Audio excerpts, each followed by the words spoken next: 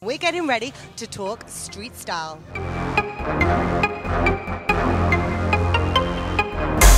Uh, I'm wearing a Romanian designer. He's called Omra, and some boots from Bonprix and a bag from Marc Jacobs. So it's a mix. Hey, Tell me about your outfit. Who are you wearing and the inspiration behind it?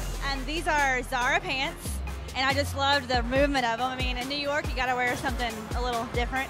Um, will you tell us what you're wearing and what inspired these choices? Of course, uh, I'm wearing I'm wearing Prada trousers, black trousers, and then I'm wearing this T-shirt, this shirt actually that it's gray green. Uh, what are you wearing?